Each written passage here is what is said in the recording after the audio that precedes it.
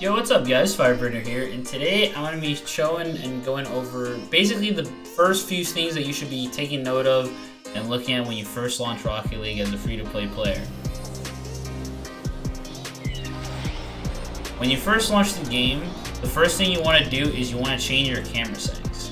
First off, you want to turn off your camera shake. You want to make your field of view 110. Your distance can be anywhere between like 260 to 280 height at 100 to 110. My angle is negative 3. You can change that from negative 3 to negative 5. It's pretty good. Stiffness is a bit of preference. You kind of want to hang around the middle though, uh, anywhere between like 0.4 to 0.7. That's really the one of the most important settings that you need to change when you first launch the game. After that, if you switch tabs on over to the controls, you'll see your sensitivities and your dead zone. Where you see your controller dead zone, you do want to lower that a bit. So I think on default it's 0.3. You want to lower that to maybe 0.1. Your dodge zone you keep the same. Your sensitivities is preference. You can change that over time. You don't have to really worry about that. Ball camera mode, you want to have make sure that's on toggle. Your control binds. Okay, so this is actually pretty important too. You, you can change a bunch of stuff, but I think the more important ones that you need to change is your air roll and your power slide. The easiest button to have that on is L1. Well, I use PS4 control, right? So I'm on L1. Uh, you can change that to left bumper if you're on Xbox. You could change your boost to R1 or right bumper if you want. It's not exactly needed, but it could be worth trying out though. It could definitely help you out. But other than that, for your controls, you don't really need to change much else. But definitely change your air roll and power slide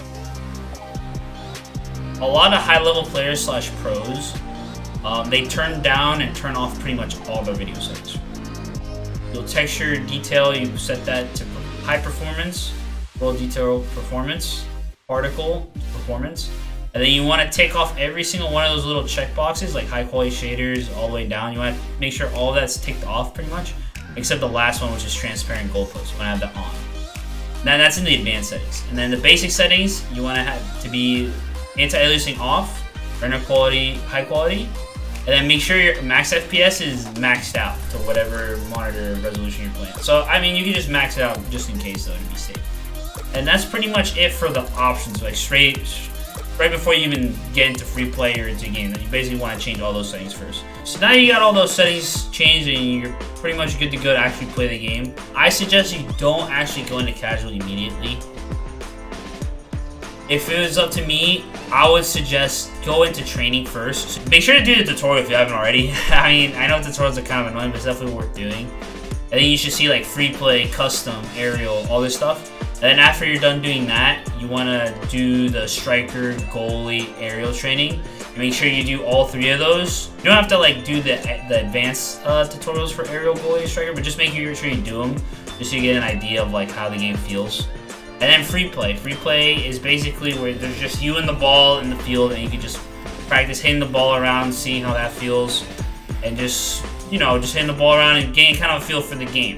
Now that you kind of finish all those trainings, and you kind of gain a little bit more of a feel of the game, right? You should notice that there's boosts all over the map, right, when you're playing. There's little small pads and there's little there's the big pads like in the corners and the sides of the map. Now, each one of these little pads can count for up to like roughly 12 boosts a pad. And then the big boost, like the little orbs, I should say, as long doesn't matter how much boost you have going into it, as long as you get one of those, it instantly refills your tank up to 100. I know the big boost might be tempting to get every single time, right, because it instantly refills it. But you really want to, especially since you're just starting out, you really want to make sure that you're kind of getting the habit of picking up these little small pads along the way. So with, let's say you're like you're playing or you're driving around and then you can't find any of the big pads, be sure to pick out those small pads and try to pick up as many of those along the way because they definitely add up and you can definitely uh, start practicing your boost management right out of the gate, like as soon as you start playing, right? That's going to be an important skill set that's going to um, help you down the line for sure. Pretty much at this point now, you kind of have a very basic understanding, right, of what you want to do. Uh, so now it's time to actually play Rocket League, right?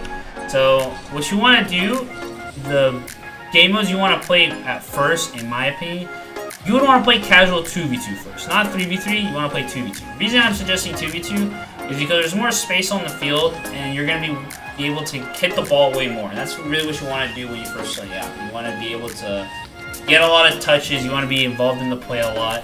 So I would suggest doing twos instead of threes, because in threes you're not going to be able to like get to the ball as much as you really want to. You get a feel for the game for what it is. So I would highly suggest starting out with casual twos. Maybe if you have a friend, you can queue up with them, and then you guys can get good together or better together.